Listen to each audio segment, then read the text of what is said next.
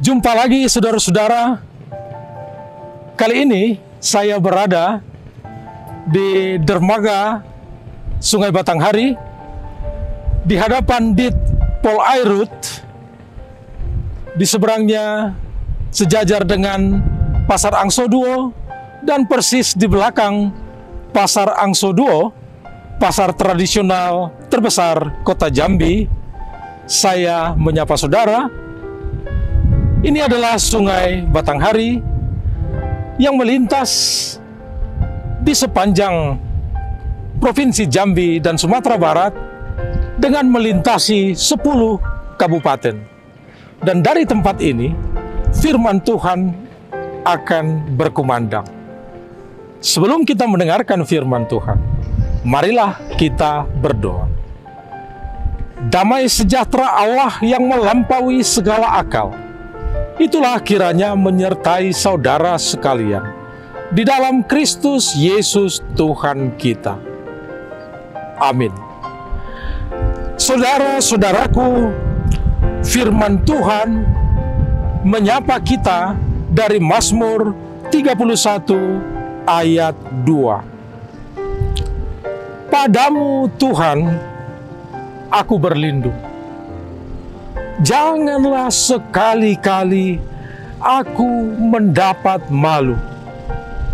Luputkanlah aku oleh karena keadilan. Sebuah potongan Mazmur Daud mengungkapkan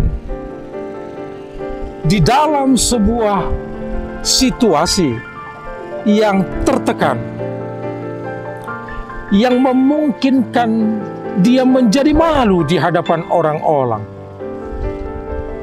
yang memungkinkan dia terancam ketenangan, kenyamanan hidupnya. Dan pada saat tertekan, ter, terdesak itu, dia datang kepada Tuhan. Ada kalanya hidup kita dalam situasi dan kondisi seperti itu.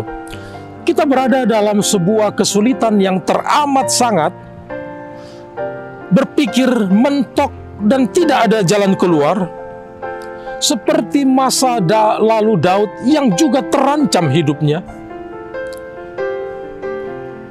Kita di dalam situasi itu mungkin berkata, "Tuhan, Aku sudah tenggelam dalam persoalan.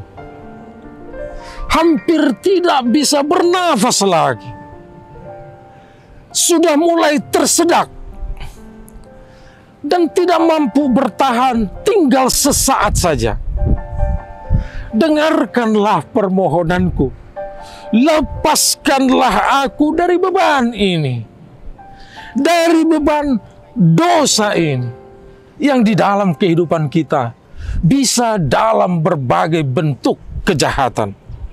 Aku tidak tahan lagi. Padamu Tuhan aku berlindung. Saudara-saudara, Daud melarikan diri kepada Tuhan.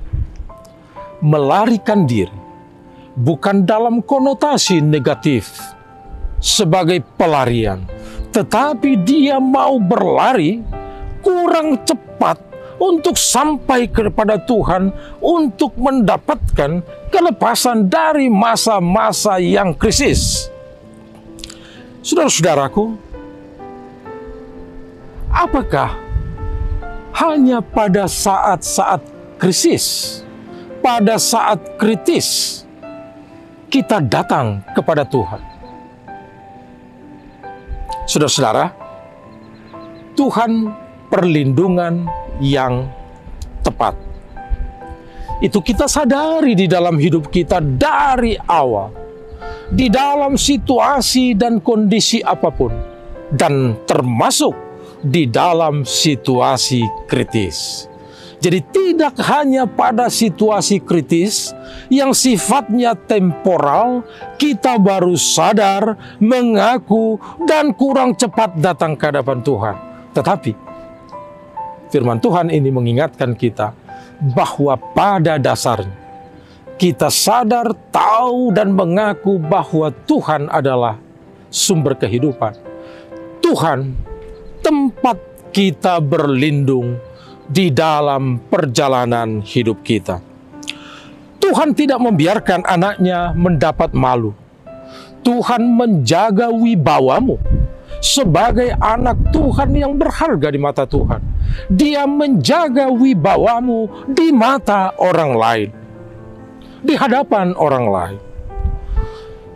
Tuhan menjaga hidupmu.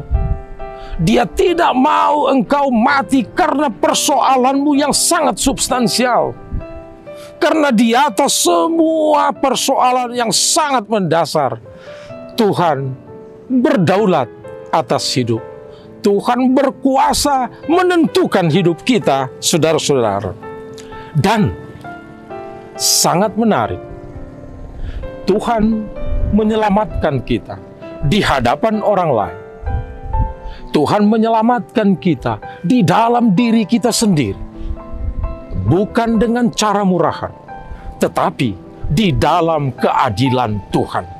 Dia membebaskan kita, memerdekakan kita, menyelamatkan kita, meluputkan kita, dan menjaga wibawamu di hadapan orang lain dengan jalan keadilan. Dia Tuhan yang adil, bukan dengan cara-cara murahan. Nah, pertanyaan terpenting buat kita, kenapa Daud bisa sadar dan memilih pelarian yang tepat.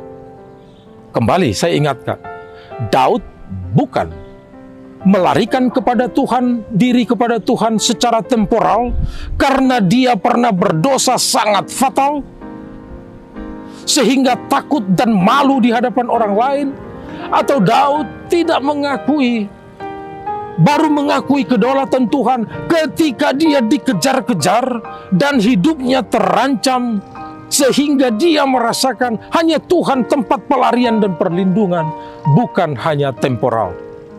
Daud, seorang anak pilihan. Daud adalah rencana Tuhan. Daud dari awal sadar bahwa Tuhan pilihan yang tepat untuk berlindung. Saudara-saudara, bagian ini ingin mengungkapkan, "Aku menyerahkan hidupku padamu, ya Tuhan." Marilah kita lihat gambaran Daud ini, sebuah petunjuk untuk menghayati apa yang diungkapkan Yesus, perkataan terakhir di kayu salib. Ke dalam tanganmu kuserahkan nyawaku. Ini bukan kesadaran Yesus yang ujuk-ujuk lahir atau muncul ketika dia di kayu salib karena tidak bisa melarikan diri lagi. Karena harus melewati jalan salib itu. Kesadaran penyerahan diri ini bukan ujuk-ujuk pada saat itu, tapi memang dalam perjalanan hidup karya Yesus Kristus dari awal dan justru dibuktikan sampai akhir di kayu salib. Dia mengungkapkan, ke dalam tanganmu, ya Bapa, kuserahkan nyawa.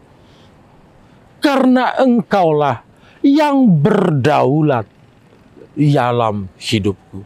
Engkaulah Tuhan yang berdaulat, yang empunya, yang berkuasa atas hidup. Saudara-saudara, baik kita mempertahankan hidup kita, berjuang agar tetap hidup. Tapi jangan sombong.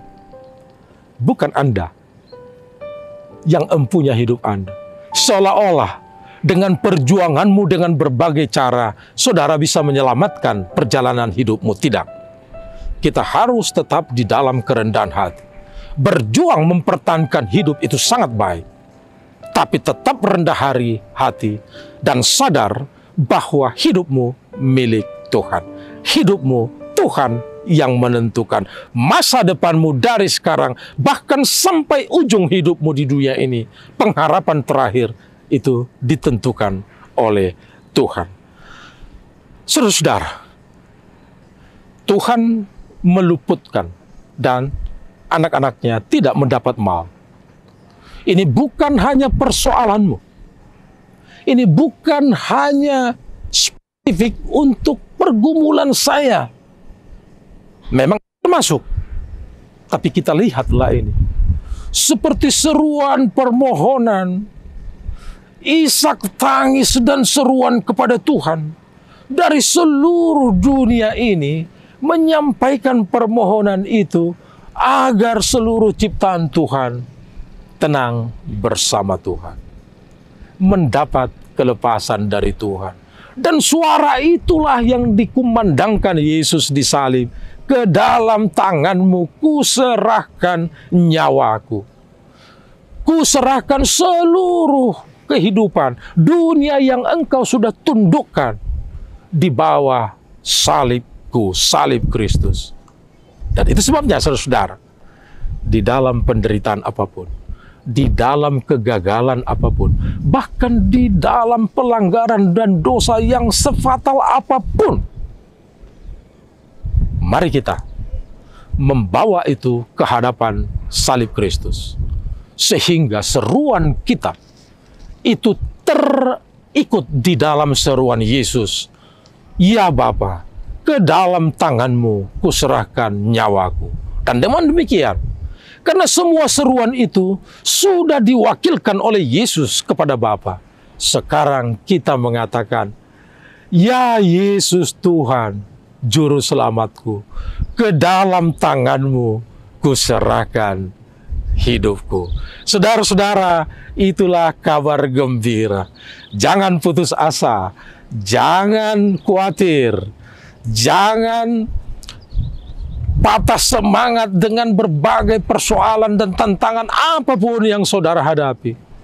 Bahkan tadi sudah saya katakan, sebesar apa pun dosa yang saudara lakukan, mari kita bawa bersama, bukan hanya pada saat ini, tetapi dengan kesadaran yang penuh di dalam hidup kita. Ya Yesus, ke dalam tanganmu kuserahkan nyawaku. Sadok lomem, terserah padamu. Tuhan memberkati kita saudara-saudara, selamat berbahagia dan selalulah jangan lupa untuk berbahagia.